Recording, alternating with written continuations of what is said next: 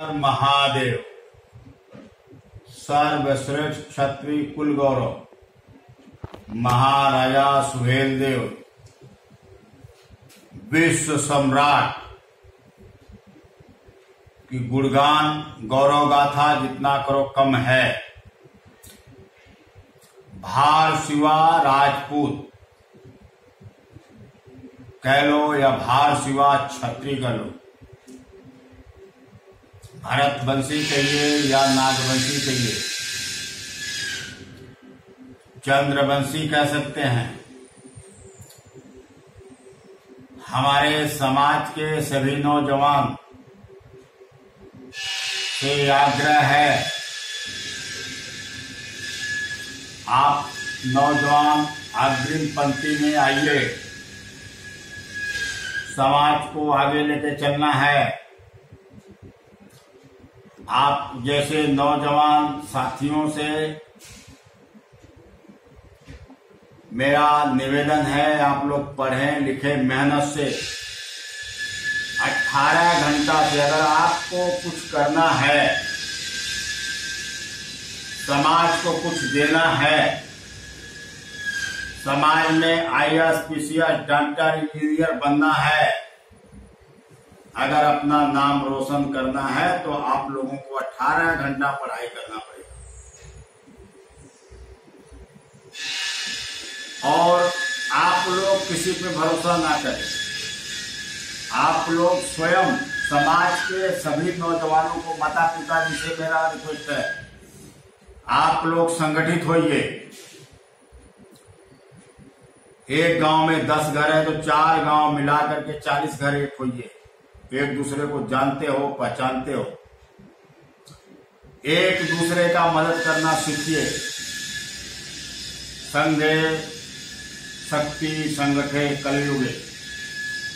कलयुग में संगठन ही शक्ति है। अगर आपको शक्तिशाली बनना है तो आप लोगों को एक साथ एक मुट्ठी बंद करना पड़ेगा। पचास पचास घर का एक एक ग्रुप बनाइए। जैसे इसलिए कि अगर एक पे दुख पड़ता है तो पचास घर उसको मदद करे। हज़ार हज़ार रुपया देंगे तो पचास हज़ार रुपया उसके घर में चला जाएगा। यह हर महीने बारी बारी से आप लोग एक दूसरे का मदद करेंगे। तो पचास हज़ार रुपया हर घर में, हर महीने जा सकता है। और यस पैसे से वो रोज़गार भी कर सकता है कबाड़ी का काम कर सकता है, कोई भी कारोबार चालू कर सकता है। और घर में राशन पताई रख करके परदेश में कमाने भी जा सकता है। और एक हज़ार प्रति, रुपया प्रति माह देने में किसी को हर्ज नहीं है।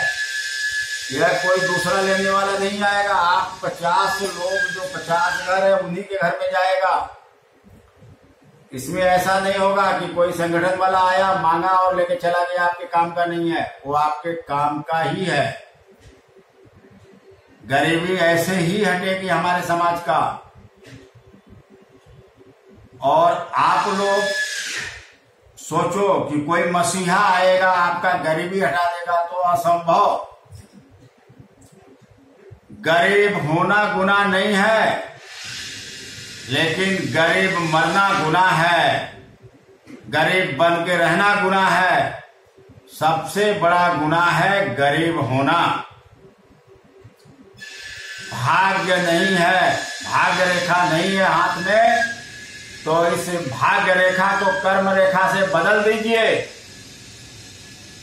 हमारा आप लोगों से अनुरोध है, विनती है कि आप लोग अपने 50-50 घरों का ग्रुप बनाइए और एक दूसरे का मदद करना सीखिए। देखिए, समाज बदलता है कि नहीं?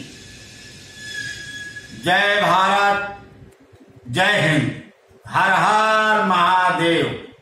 जय महाराजा सुहेल देव